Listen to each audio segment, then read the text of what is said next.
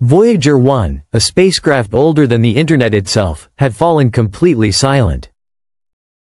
15 billion miles from Earth, there was no signal, no telemetry, no comforting heartbeat of data. Just silence. A silence so absolute it felt as though the universe itself had drawn a curtain. For the scientists who had listened to Voyager for decades, it was terrifying. Had humanity's most distant explorer finally died alone in the dark between stars? And then, just as hope began to fade, a whisper returned. It wasn't a routine status update. It wasn't a simple reboot or error correction. What Voyager sent back shattered one of our most comforting assumptions, that the space beyond our sun was empty, quiet, and inert. Instead, Voyager revealed structure, motion, pressure, and boundaries. It had crossed into another side of space, and what it found was nothing like anyone had expected. When Voyager 1 crossed the heliopause in 2012, it became the first human-made object to truly leave the Sun's protective bubble. Many believed its mission was essentially over. It would drift onward, instruments slowly failing, a golden relic slipping into eternal silence. But Voyager never stopped listening. In April 2024, after months of corrupted transmissions and unreadable signals, Voyager came back online. What it began transmitting shook the foundations of astrophysics. Beyond the heliopause, space is not quiet. It is humming. Voyager's plasma wave instrument detected persistent low-frequency oscillations, a steady rhythmic background permeating interstellar space like the pulse of a living thing. This was not random noise. It was structured, consistent, and everywhere Voyager could listen.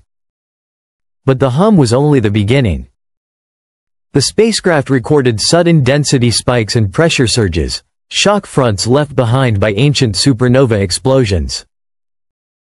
Voyager wasn't just moving through space. It was passing through layers of memory, regions shaped by stellar deaths that occurred thousands, perhaps millions of years ago. Interstellar space, it turns out, is not an empty corridor between stars. It is a vast, turbulent ocean of invisible currents, echoes, and storms. And Voyager is our tiny sailboat navigating weather humanity never knew existed. As Voyager pressed deeper, its instruments painted a picture no telescope could ever capture. Its magnetometer detected sharp misalignments where the galactic magnetic field twisted violently against the sun's fading influence, like tectonic plates grinding together. These patterns were not random. They were organized, suggesting the galaxy possesses a kind of magnetic skeleton, vast filaments of force shaping where matter flows and where it does not. Some regions deflect cosmic rays. Others funnel them into concentrated streams, invisible rivers of radiation racing through the dark. Voyager crossed one such threshold, where high-energy particles accelerated by distant black holes and long-dead supernovae slammed into the probe at near light speed. The change was abrupt, not gradual. Like stepping off a cliff. We once imagined the heliosphere as a gentle gradient, slowly dissolving into interstellar space. Voyager tells a different story. The boundary is not a shoreline. It is a wall. Beyond it, the rules change. By late 2023, the mission nearly ended for good. Voyager's signals became garbled. Data streams collapsed into nonsense. Instruments fell silent one by one. Engineers traced the problem to a corrupted memory module, likely struck by a cosmic ray, the very phenomenon Voyager was now studying firsthand. From 15 billion miles away, NASA engineers attempted the impossible. They rerouted Voyager's software into backup memory, performing something akin to brain surgery across a 22-hour communication delay. Every command took nearly a full day to arrive. There were no second chances. Against all odds, it worked. In April 2024, Voyager came back to life. First engineering telemetry. Then magnetometer data. Then plasma sensors. One by one, its instruments awakened, each delivering something humanity had never possessed before, direct measurements from the true interstellar medium. What Voyager sends now is more than numbers. It is the first living map of interstellar space. Scientists are beginning to chart galactic topography, not of mountains and rivers, but of radiation zones, magnetic boundaries, and invisible cloudlets.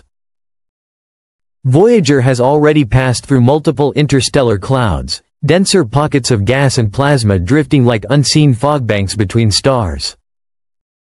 Each one has its own temperature, density, and magnetic orientation, like crossing continents with invisible borders. One day, these maps could guide future interstellar probes through safer corridors, using natural magnetic shielding to reduce lethal cosmic radiation. Even more profound, these structures may explain how stars are born. Filaments and pressure zones that funnel matter could be the cradles of future suns. Voyager is no longer just a probe. It is a scout and a cartographer of the unseen. We once believed interstellar space was uniform, a thin scatter of particles stretched across light years.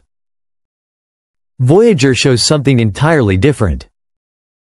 A dynamic environment with layers, pressure fronts, eddies, and storms. Its plasma instruments record sudden changes in temperature and energy, distinct pockets of invisible climate, each with its own character. Voyager has also begun mapping the edges of the local bubble, a massive cavity hundreds of light-years wide carved by multiple supernova explosions millions of years ago. Its readings show abrupt density shifts and distorted magnetic fields, cosmic scars left by stellar violence. In these regions, Voyager may be detecting echoes of ancient explosions, shockwaves that have traveled across the galaxy for millennia before brushing against human-made metal. Perhaps the most unsettling discovery is this, Silence does not exist out there. Voyager's sensors detect continuous resonances, frequencies that never fully fade. As the spacecraft moves, these tones subtly change, as if it is passing through different zones of vibration. They are not radio signals. Not background noise. They resemble the resonance of the interstellar medium itself, a cosmic symphony played across plasma and magnetic fields. Some scientists believe this hum reflects how the galaxy organizes itself. Others admit we may not yet have the language to describe what Voyager is hearing. Whatever the truth, Voyager is no longer just observing the galaxy. It is moving through it, becoming part of its rhythm. Voyager 1 was launched to explore, not to conquer or to search for life. It was humanity's whisper into the void. A machine built to ask questions and to listen. What it is revealing now is a message we never expected. The heliosphere was not simply a boundary. It was a cradle. Beyond it lies an environment shaped by ancient explosions, invisible currents, and magnetic bones left behind by stars long dead. Right now, a golden-plated messenger drifts 15 billion miles away. Still listening. Still mapping. Still translating the whispers of the galaxy into something we can understand.